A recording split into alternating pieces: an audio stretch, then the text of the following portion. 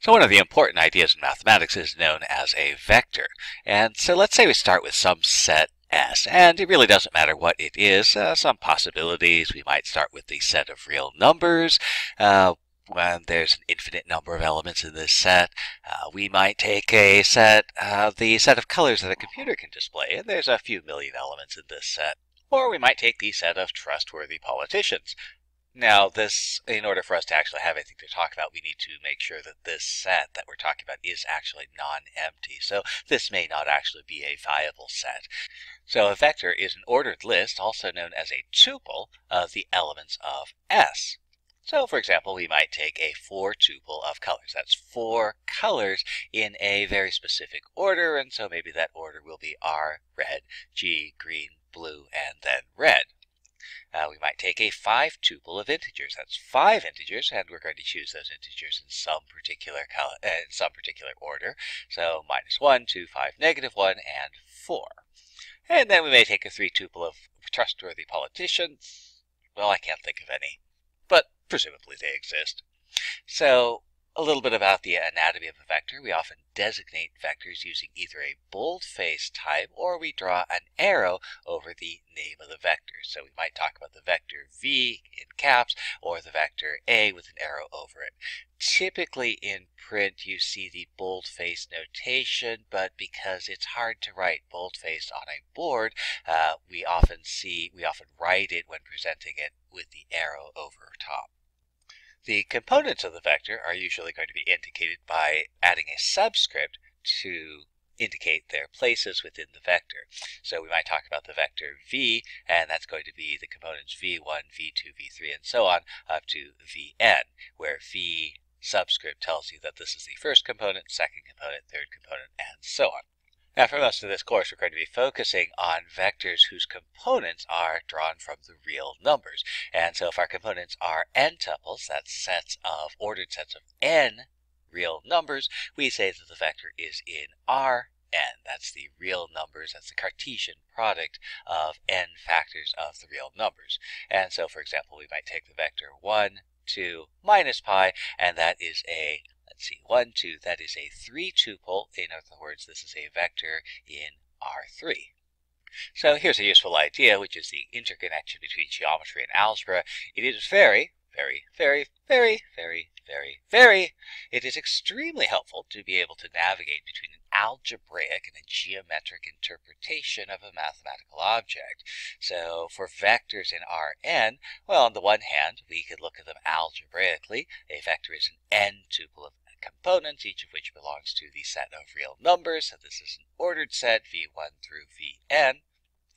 And geometrically, well, how might we look at this? Well, the thing to notice is that when we describe a vector, it looks an awful lot like how we describe a point. So this looks like it's a point in Rn. However, if we want to make the most use out of this interconnectivity, uh, we might notice that we already have. So what we'd like is the vector should be something that is different from a point because we already have points. So what can we do? Well, let's think about this. The coordinates of a point tell us two things of importance. They tell us where the point is, but they also give us directions for getting to the point from the origin. And so what this suggests is that we can get value added by introducing vectors by making direction the important thing about a vector. And we can draw these directions, we can indicate them as arrows. So I'm going from here to there, and so here's my vector, u, and likewise from here to there, or here to there, and so on. Now something that's useful, if we're going to interpret vectors as directions, then, well, this vector u here and this vector r here, they look very similar. They seem to be giving the same directions. Go that way, go that way. And so we might say that u and r are going to be the same vector. The spatial position of the vector is not important. Where we happen to draw the vector doesn't matter. At the same time, if we viewed vectors as directions, p and q have to be regarded as different. P goes this way, Q goes that way, even though in many ways these two look very similar, they're going in different directions, so we have to regard them as different vectors.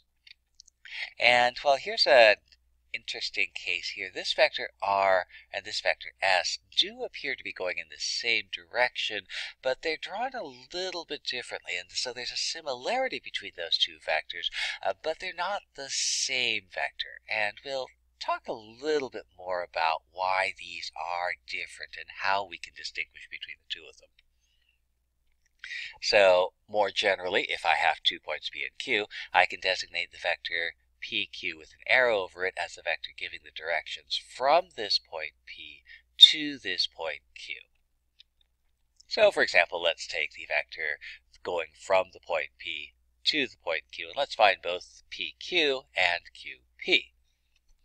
So let's think about that. Vectors are directions. So if I go from P to Q, what has to happen? Well, let's look at our coordinates. So our coordinates of P, 1, 3, negative 1. Our coordinates of Q, 0, negative 3, 2. And what do I have to do? Well, if I'm going from P to Q, the first coordinate has to go from 1 to 0. It has to be decreased by 1 unit. My second coordinate has to go from 3 negative 3, which means I have to decrease the second coordinate by 6 units. And then that third coordinate goes from negative 1 to 2. It's got to increase that third coordinate by 3 units. And what this suggests is that this vector from P to Q has to be negative 1, that's my decrease of 1 unit, plus six, negative 6, that's my decrease by 6 units, and then plus 3, that's my increase by 3 units. Now I can do the same analysis to find the vector QP, but I could also just simply reverse the directions. If this is how I go from P to Q, if I reverse what I do, then I can go from Q back to P. So instead of decreasing my first coordinate by one unit, I want to increase it by one.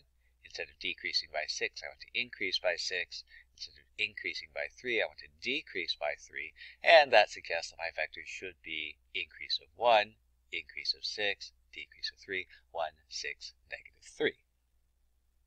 And we'll close with one final idea. What happens if I want to go from Q to Q? In other words, from a point to itself. Well, we would change none of the coordinates, so this would be a vector consisting of all zeros. And this is actually a useful idea for later on. This gives us what we call the zero vector. And again, that's going to be no surprise zero with an arrow over it or a boldface zero. And this is a vector whose components are all zero.